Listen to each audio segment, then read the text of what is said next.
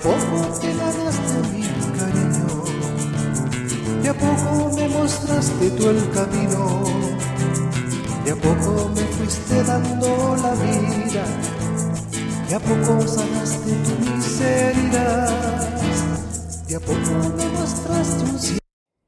Estamos contentos.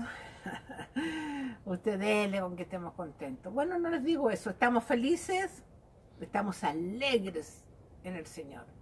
Y todos los días, las 24 horas del día, repitámoslo a ti, al que vive contigo, al que te escucha. Y si no lo puedes decir con palabras, dilo con tus acciones, dile con tu forma de vivir, con tu forma de actuar, con tu carita, que a pesar del dolor, de la enfermedad, de la muerte, tú sigues en eso. Ahí hace la diferencia.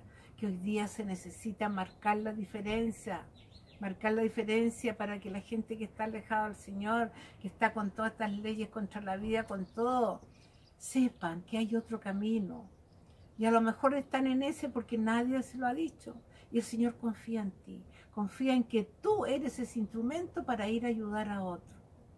Ten confianza. Él dice, yo pondré palabras en tu boca. Lo único que yo quiero es que tú me digas sí. Y tú vas a sentir ese impulso, tú vas a sentir esos deseos. Pero Satanás inmediatamente te dice, no, que muy tarde, no, que esa persona tiene otras personas que le van a hablar de Dios. ¿Y tú qué tienes que hacer ahí? Nada, quédate tranquilo en lo que tú estás haciendo. ¿Te fijas? Y no, lo que tú dejas de hacer, nadie más lo hace. Y el Señor nos va a pedir cuenta de los pecados de omisión. Acuérdate que veíamos el otro día esos pecados de esclavitud. Así que, bueno, y hoy día nuestro querido Padre Víctor Manuel nos dice lo siguiente. El Espíritu Santo nos hace sabios, pero el hombre sabio no espera que se den todas las condiciones adecuadas para sentirse bien, para vivir con profundidad, sino que sabe vivir con hondura en cualquier situación. Ese, el Espíritu Santo nos hace sabio, ¿ya? ¿Qué significa? Que nos da las condiciones para que nosotros hagamos las cosas, ¿ya? Para que podamos vivir bien, con orgullo en cualquier situación. No nos hace sabio para que miremos por debajo del hombre a los que no saben nada y sentirme orgulloso y soberbio, yo soy capo en esto.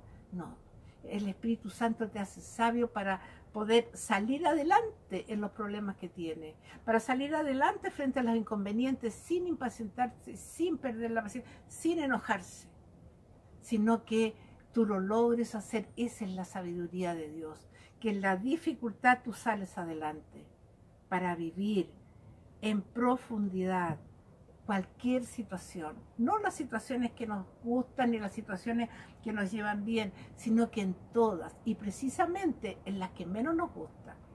¿Ya? Entonces creo, hermano, hermano querido, que es ahí donde viene.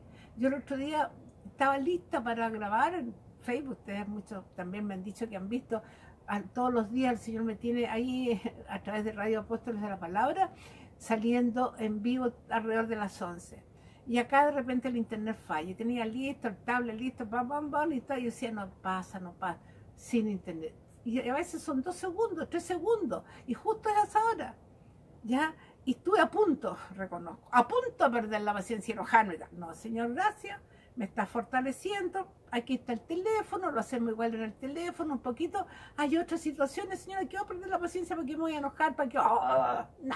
Ahora que tú las ganas, las tuve pero gracias Señor que Él me ha ayudado a dominarme, a no explotar, sino que sencillamente pescamos el teléfono, dije, vamos a salir unos 10 minutitos después, pasó esto, y sabe, porque el Señor nos fortalece. El Señor nos está fortaleciendo y agradecida de cada momento que tenemos un inconveniente, en vez de enojarnos, gritar o poner mala cara o qué sé yo. Gracias Señor, estás fortaleciéndome. Gracias Señor, estás haciendo que sea mejor. ¿Te fijas? Qué maravilla que pudiéramos hacer eso, ojalá siempre. Bueno, y hoy día ya tenemos Romanos 8, 8, 28, que nuestro querido Padre Harry, que en paz descanse, siempre lo sacaba a luz y nos decía, Romanos 8, 28, y mira lo que dice el Espíritu Santo que nos ayuda. Sabemos además que todo contribuye al bien de los que aman a Dios, de los que Él ha llamado según sus planes. Palabra de Dios. Sabemos que todo coopera para el bien de los que aman al Señor. Todo, hermano, hermano querido, todo, todo. Así que tengamos claro que todo coopera. Esto negativo, esto que me fue mal, esta muerte, esta pandemia, este sinsabor que estoy pasando, a lo mejor este momento que no tengo trabajo. El Señor va a sacar cosas de ahí y está viendo, sabe, nunca te va a mandar ni a ti ni a mí, va a permitir, no manda, va a permitir algo que no podamos superar. Así que repitamos y tengamos Romanos 8:28. Sabemos que todo contribuye al bien de los que aman a Dios. Y tú lo amas, por lo tanto, todo coopera para nuestro bien.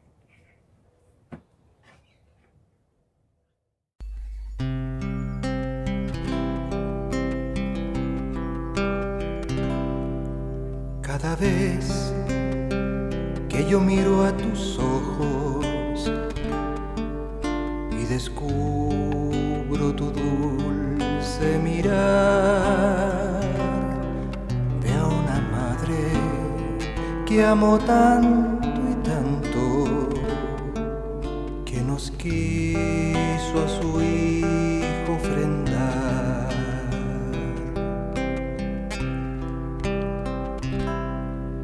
Siendo niño, le tuvo en sus brazos, le cantaba canciones de amor, le enseñó sus primeras palabras, las mismas que Jesús repitió.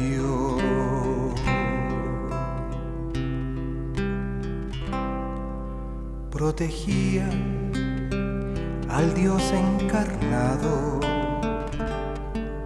Cuando enfermo también le cuidó y junto sus manitas pequeñas al hacer su primera oración.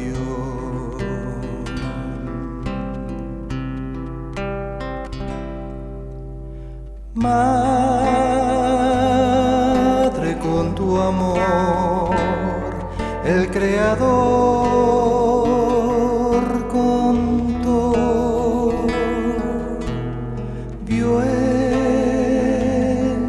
tu corazón la pureza y el candor que salvó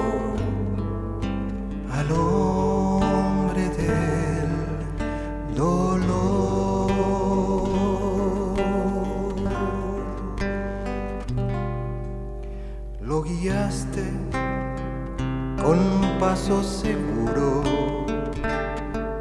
infundiste en él el valor de enfrentarse a las cosas pequeñas, de seguro también al dolor.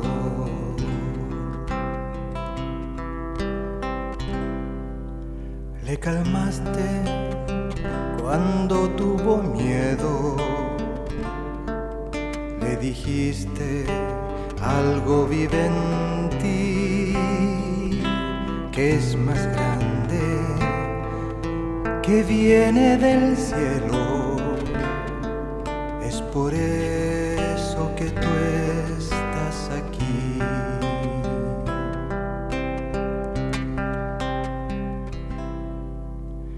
Minutos antes de dejarnos, Jesucristo de lo alto observó la mirada dulce de su madre. Gracias dijo